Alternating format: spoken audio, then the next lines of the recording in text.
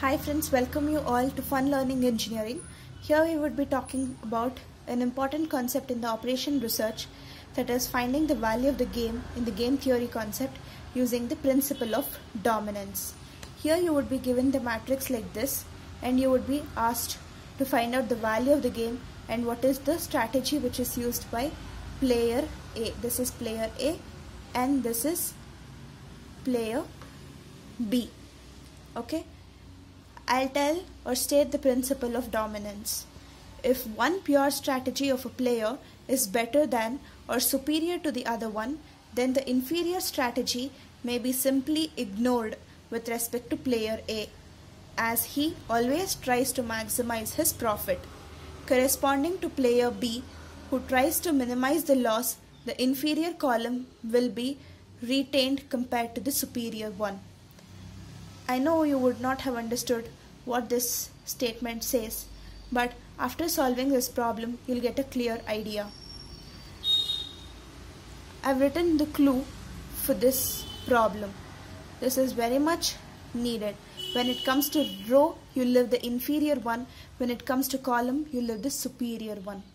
How do you solve this? Consider the first two rows. Here 1 is less than 2 and but 2 is greater than minus 3 so that doesn't hold good or it doesn't satisfy. Because whenever you consider two rows all the two three values which are present here should satisfy. Here if one is greater than 2 here also something should be greater. Here also something should be greater than the other one. Here 1 is less than 2 but 2 is greater than minus 3 here you're getting less than here you're getting greater than. So it's ruled out. You should get less than only or you should get greater than only when comparing the rows or the columns. So you compare 1 and 3 1 is greater than 0 but 2 is less than 3 so you can't do it. Now you do with the second and the third one. Here 2 is greater than 0 but minus 3 is less than 0 don't check furthermore because here only you're not able to satisfy the condition so you consider the column wise. 1 is less than 2 and 2 is greater than minus 3 so ruled out. You consider the first and the third column. That is 1 is greater than 0 2 is greater than minus 2 0 is greater than minus 1 all the three of them are holding with respect to column 1 and column 3 thus in column wise when you're checking you should leave the superior one superior one is what? In 1 0 2 minus 2 0 minus 1 this complete column is the superior one. So you leave out that and you write the remaining one.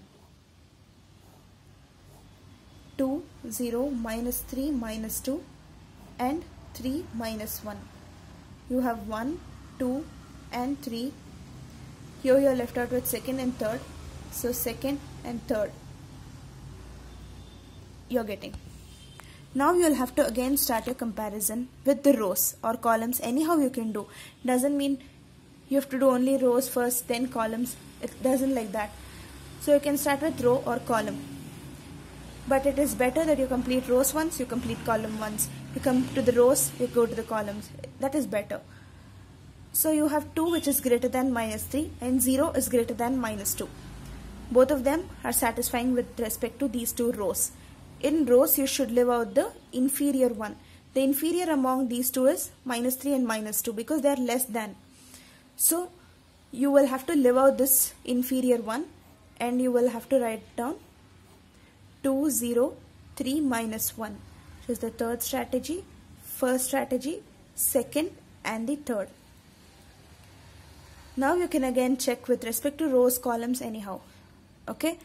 2 is less than 3 but 0 is greater than minus 1 so you can't do. Here 2 is greater than 0 3 is greater than minus 1 both of them are holding true with respect to column. In column wise what you should do leave the superior one which is the superior one 2 3 when compared to 0 and minus 1 so you leave out the superior one. You would be left out with 0 minus 1 which is the third one and 1 and third strategy now you are left out with only columns. 0 is greater than minus 1. when it comes to the row wise you should live out the inferior one. Inferior one is minus 1 so you live out that. You're left out with 0 that is third and first. So the value of the game is 0 or it is a fair game because you're getting 0 and player A's strategy is 1 because player A is present on the left side here. That is 1 and player B's strategy that he is using is 3 this is the conclusion what you'll have to write down after solving the sum using the principle of dominance. Thanks for watching this video. Please do subscribe to the channel for further videos